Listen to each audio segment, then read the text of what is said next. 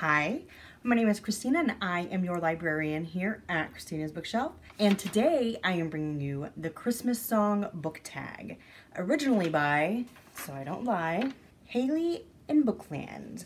And I will link that down below so you can go check the original if you want. I printed off my questions because I don't like to read off my phone.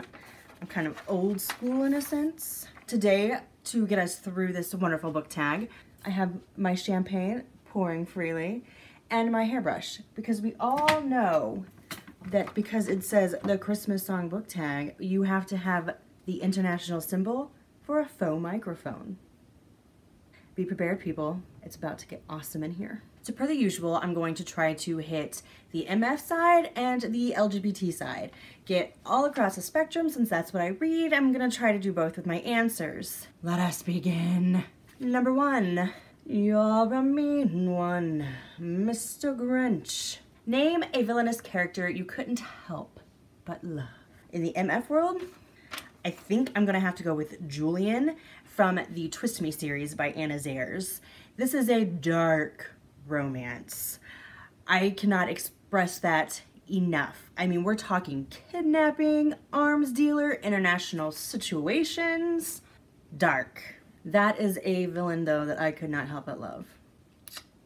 However, I did a book tag not too long ago and I was like, who would you say thanks but no thanks to? I couldn't help but love Julian, but no thanks. In the LGBT world, a villainous character you couldn't help but love. I haven't decided if Freddie from the Inheritance series by Amelia Faulkner is good or bad, but I kind of love him.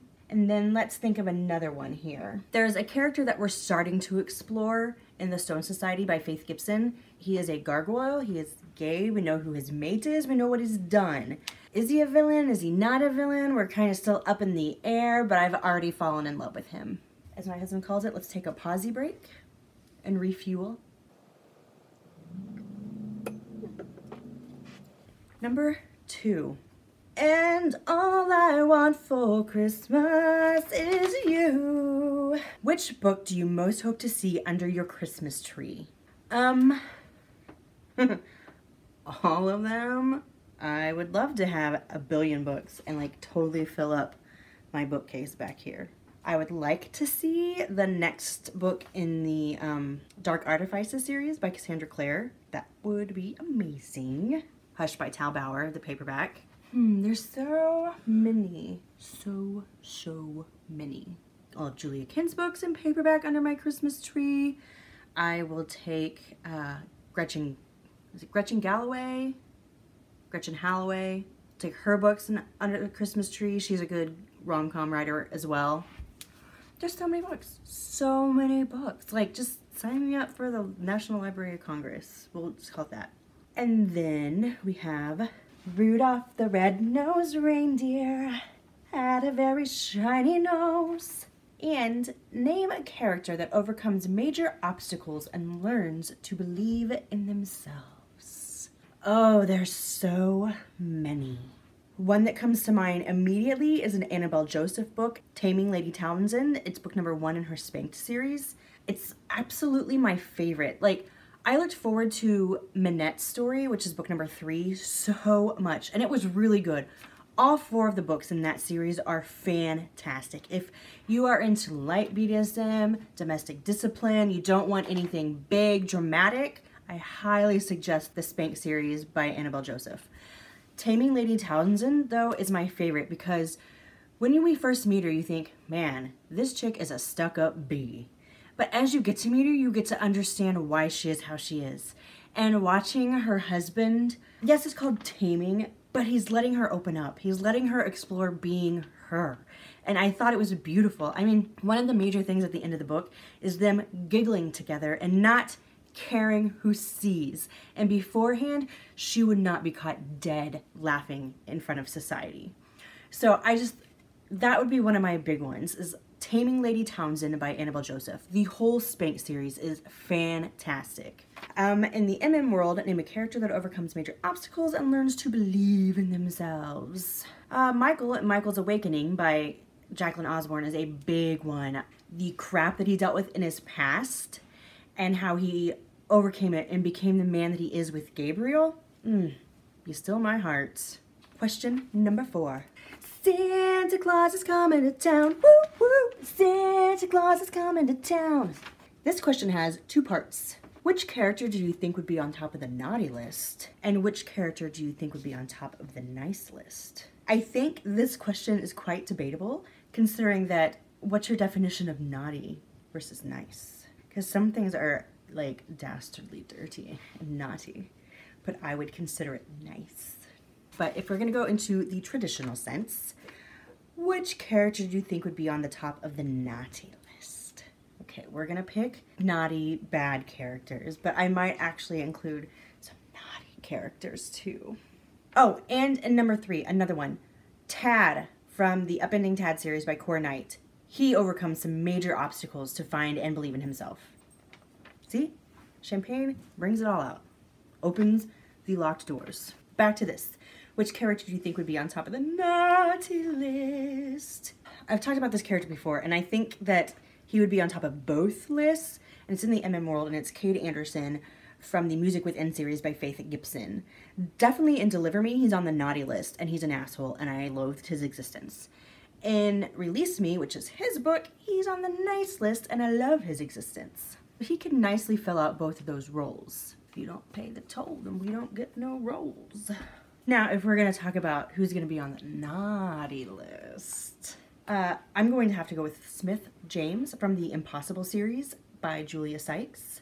Oh my gosh. One, have you read the Impossible series? It's FBI agents. Freaking yes. Yes, yes, yes. And the heroines are strong women. They really have to be for the crap that they've gone through in life and to be with the men that they're with, especially Miss Lydia to be with Mr. James. He is definitely on top of that naughty, naughty list. Somebody else that would be on the actual naughty bad list. Give me a second.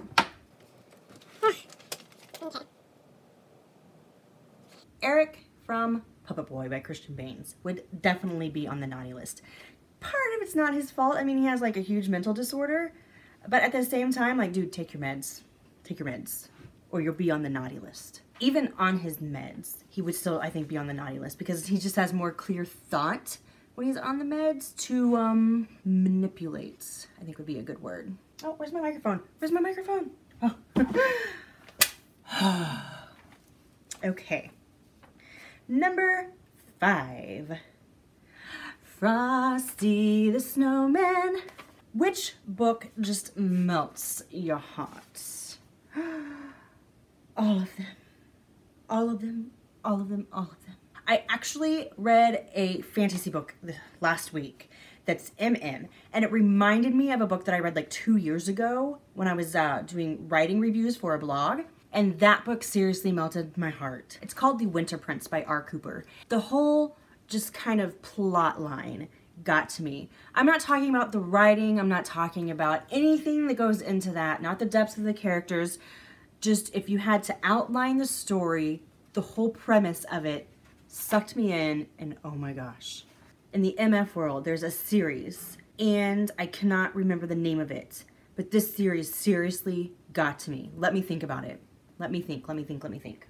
Here we go. Here's, I believe, the third book in the series, but it's the Forever series by Deanna Roy. This book talks a great deal about loss of life. It has some very tough subject matters to bring to you, but it does so in like one of the classiest ways I've seen done. The first one is about a boy and a girl who had pretty much been like childhood sweethearts. And in high school, they have a child who has a heart condition and doesn't make it. I think the child was alive for seven days. And then their world falls apart and they separate. And they meet up again years later in college. And it's just so much happens within the story. But it's written, like I said, in this classy way that gives you all the feels and just melts your heart. This one is probably my favorite, Forever Sheltered. I believe it's book number two. No, because I think the first story is two books. And then this one would be book three. And then there, I know there's a book four, but I can't remember what it's called. But the Forever series by Deanna Roy in the MF world would be a book that melts your heart in a fantastic way. Like it melted into this puddle of goo because you're just so sad. That puddle of goo mixes the crap with the good and everything gets in there and it becomes this strong, solid base. The Forever series, I highly recommend it. Ha, Feliz Navidad. Feliz Navidad. Choose a book that takes place in a country other than your own. Um, so many. In the MF world, a good chunk of the Krinar Chronicles by Anna Zaires. I'm bringing her up once again because that is like my favorite sci-fi trilogy. I effing love the Krinar Chronicles. A good portion of it takes place in Costa Rica, and a good portion of it takes place off planet. So I think that would be considered like out of country, right? I would think so. And there's another one that I really like, and I can't think of the name of it off the top of my head. Uh, the main character is dumped by her husband like right before their wedding. She goes ahead and goes on their honeymoon to Paris and meets a guy there. And so a good portion of the book takes place in Paris and a good portion here. And I'm trying to remember. I know book number two is forked and book number three is floored. I'm on it. Just give me a second. There's so many books, but these are the ones that are like popping into my head. So you're just going to have to deal with that. All right. Let's hit up some Goodreads. And this is a really good series too. Like the whole thing, I would highly suggest all of them. They're funny, they're light, but they're very intense. Okay, Frenched. Frenched is the one that I was talking about. And it's, um, let me see, is this a series? Okay, so it's, the name of the book is Frenched and it's part of the Frenched series by Melanie Harlow. So it takes place part here in the States, but most of it takes place over in Paris. And then in the MM world, choose a book that takes place in a country other than your own. There's so many of them. Let's kind of just go down the line here, shall we? I mean, yeah, Enemy of the State takes place all over the world. Axios, I haven't read it yet, but I'm pretty sure it doesn't take place in the United States. Clipped by Devon McCormack takes place uh, heaven, hell. Would you consider that part of the United States? I would consider it off states.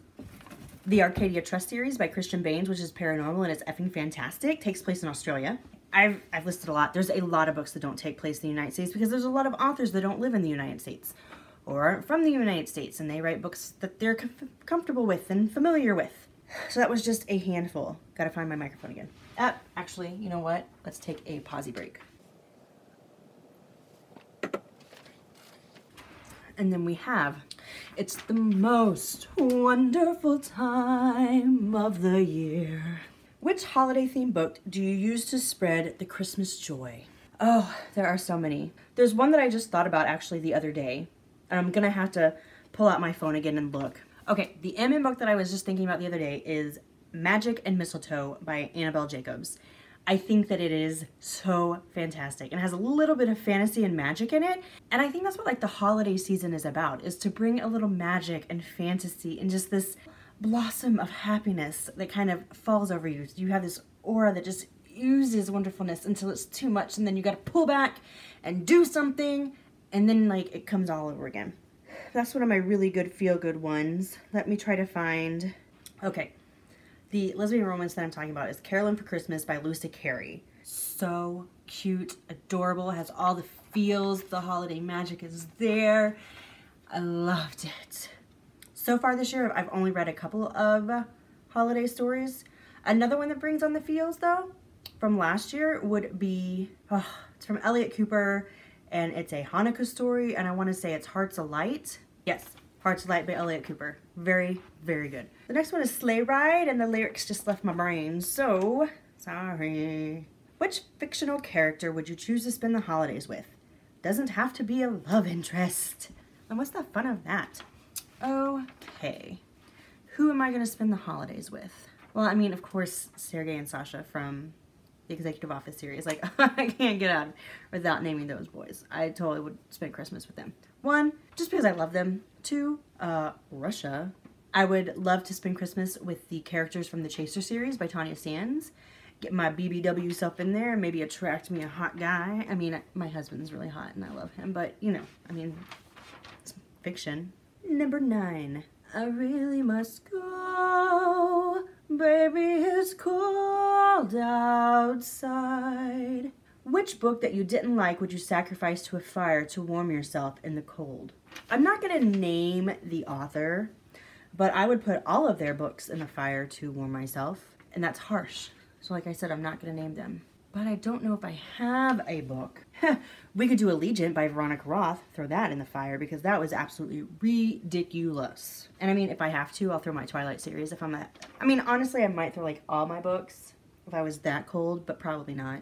Somebody else would have to do it, and then it would be war. And then number 10. Do you hear what I hear? Which book do you think everyone should read? I think you should just pick up a book and read it. I honestly think you should say, This is a book I would never read. Pick a genre you've never explored, a theme that you think is the worst ever, a trope that you just don't like, and figure out is it the author that you don't like? Is it really the trope? Is it the genre with that trope you don't like? I, for the longest time, hated like nerds and jocks together. Loathed, loathed. And then Annabeth Albert wrote a story and I'm trying to think of the name of it. It's in the Gamer series. You have a Navy SEAL and a nerd. And I was like, ugh, really? I will never question it again. Like, I think it was just the authors that I had read before that I really hated that trope because this one was so fantastic. Yes, okay, Connection Error by Annabeth Albert. That's number three in the Gamer series. So that's what I'm going to say to you. Pick something that you wouldn't normally read. Get something that's like out of your comfort zone. I would not be here today if I had not taken that step outside of my comfort zone. And if you're not ready to read something outside your comfort zone, join some Facebook groups, join some Goodread groups that have kind of something that you might be interested in, but you haven't gotten that far to actually purchase a book or check out a book or I know authors have a or have a very difficult time getting paid with Kindle Unlimited. I did it for maybe 6 months to be able to explore and find new authors. When I decided to change genres and not just read MF, I was kind of in a slump so I got Kindle Unlimited so I could get out there, see the world, explore some different things. And once again, that's kind of how I ended up here. Joining a couple Facebook groups, just kind of seeing how things worked and going from there. You don't have to jump in head first, diving, whatever you want to. Honestly, get something, put your toe in the water. If you're thinking, okay, Christina, I'm gonna try out some MM books, I highly recommend the Portland Heat series by Annabeth Albert. They're very romantic, I mean, very tropey and wonderful. These sex scenes are not so just in your face. A YA book that if you're not, if you're like, I really don't know about YA, you know, I'm not into all that crazy stuff, Twilight, the Mortal Instruments, Divergent, The Hunger Games. A new author that I would highly recommend is Jill Bowers with the Immortal Rider series because there's a lot in there that uh, us as adults can kind of connect with too and we can read it with our kids, you know, not read it with our kids, which is what I did. But that's something I recommend. Which book do you think everyone should read? Depending on what your favorite kind of genre is, we can go from there, but I honestly suggest take a step out of your comfort zone because you never know what you're going to find. It could be the most amazing step you've ever taken. And that, ladies and gentlemen, is the Christmas song book tag if you've enjoyed this book tag and my crazy shenanigans, I'm to ask that you help me with that YouTube algorithm and give me a like. Leave me a comment. I'd love to interact with all of you guys. And go ahead and hit that subscribe button. I try to get something new out every Sunday through Thursday, but I honestly never know what time. And that is the magic of the subscribe button, is that you will get a notification when I have something new for you. If you like me and think this chick's pretty awesome, down below I'm to leave stalker links aplenty. Click, investigate, enjoy. This was the Christmas song book tag, originally by Hailey in Bookland. Once again, I will leave that link down below for you also, along with all the others. Cheers.